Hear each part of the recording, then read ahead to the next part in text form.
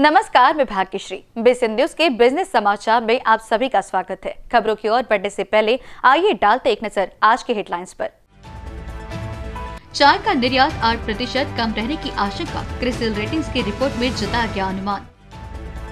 GST eighty की इकतीस PT अधिसूचित, चौदह हज़ार कर मामले लंबे अब होगा त्वरित निपटान। देश का विदेशी मुद्रा भंडार आज सितंबर को समाप्त सप्ताह में चार दशमलव निन्यानवे अरब डॉलर घटकर पाँच सौ तिरानवे दशमलव नब्बे अरब डॉलर रहा। भारतीय रिज़र्व बैंक ने शुक्रवार को यह जानकारी दी है। पिछले सप्ताह देश का कुल भंडार चार दशमलव शून्य चार अरब डॉलर बढ़कर पाँच सौ अट्ठानवे दशमलव उनबे अरब डॉलर रहा था। अक्टूबर 2021 में देश का विदेशी मुद्रा भंडार 645 अरब अमेरिकी डॉलर के सर्वकालिक उच्चतम स्तर पर पहुँच गया था।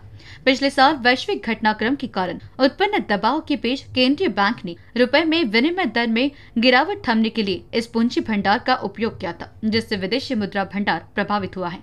रिज़र्व बैंक के साप्ताहिक आंकड़ों के अनुसार 8 सितंबर को समाप्त सप्ताह में विदेशी मुद्रा भंडार का अहम हिस्सा, विदेशी मुद्रा आस्तिया चार दशमलव छब्बीस अरब डॉलर घटकर पाँच सौ छब्बीस दशमलव तिरालीस अरब डॉलर रह गई।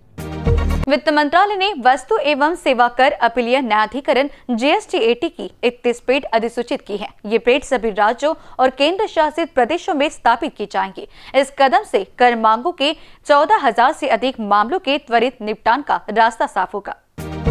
वर्तमान में कर अधिकारियों के फैसले से असंतुष्ट करदाताओं को संबंधित उच्च न्यायालय का रुख करना पड़ता है। मामले निपटने में लंबा समय लगता है, क्योंकि उच्च न्यायालय पहले से ही लंबित मामलों की बोझ से दबे हुए हैं और उनके पास जीएसटी मामलों से निपटने के लिए कोई विशेष पीठ नहीं है।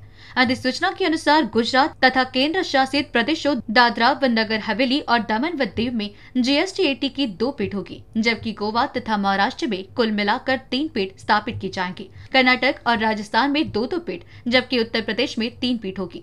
पश्चिम बंगाल, सिक्किम तथा अंडमान व निकोबार द्वीप समूह, तमिलनाडु पुदुचेरी में कुल मिलाकर दो दो जीएसटी पीठ होगी, जबकि केरल तथा लक्षद्वीप में एक पीठ होगी। भारत का निर्यात इस साल अगस्त में छह दशमलव छियासी प्रतिशत घटकर चौतीस दशमलव अड़तालीस अरब अमेरिकी डॉलर रहा। शुक्रवार को जारी सरकारी आंकड़ों से यह जानकारी मिली है। पिछले साल इसी माह में यह सैतीस दशमलव शून्य दो अरब डॉलर था। आंकड़ों के मुताबिक आयात भी पाँच दशमलव तेईस प्रतिशत घट कर अट्ठावन दशमलव चौसठ अरब डॉलर हो गया। यह अगस्त 2022 में इकसठ दशमलव अट्ठासी अरब डॉलर रहा था। अगस्त में देश का व्यापार घटा, चौबीस दशमलव सोलह अरब डॉलर रहा। चालू वित्त वर्ष 2023 और 24 में अप्रैल अगस्त के दौरान निर्यात ग्यारह दशमलव नौ प्रतिशत घटकर एक अरब डॉलर और आयात बारह प्रतिशत घटकर दो अरब डॉलर रहा। श्रीलंका से आपूर्ति बढ़ने की वजह से चालू वित्त वर्ष में चाय उद्योग के निर्यात में सालाना आधार पर 8 प्रतिशत की गिरावट आने की आशंका है। एक रिपोर्ट में यह अनुमान जताया गया है। क्रिसिल रेटिंग्स की रिपोर्ट के मुताबिक वित्त वर्ष 2023 और 24 में चाय उद्योग की परिचालन लाभप्रदता के पिछले साल की तुलना में एक प्रतिशत घटकर पाँच प्रतिशत रह जाने का अनुमान है। चाय की पैदावार कम होने से ऐसा होने की आशंका है। हालाँकि पूंजीगत व्यय नगण्य होने और कम वृद्धि से इस उद्योग का कर्ज ढांचा स्थिर बने रहने की उम्मीद है। रेटिंग एजेंसी ने कहा कि चाय उद्योग का निर्यात आकार घटने से इसका सालाना राजस्व आठ प्रतिशत तक घट सकता है। क्रिसल रेटिंग्स के निदेशक नितिन कंसल ने कहा कि कुल बिक्री में बयासी प्रतिशत हिस्सेदारी रखने वाली घरेलू मांग इस साल भी 110 करोड़ किलो के साथ स्थिर रहने की उम्मीद है। हिंदुजा समूह की प्रमुख कंपनी अशोक लीलैंड उत्तर प्रदेश में 1000 करोड़ रुपए के निवेश से बस बनाने का कारखाना बनाएगी।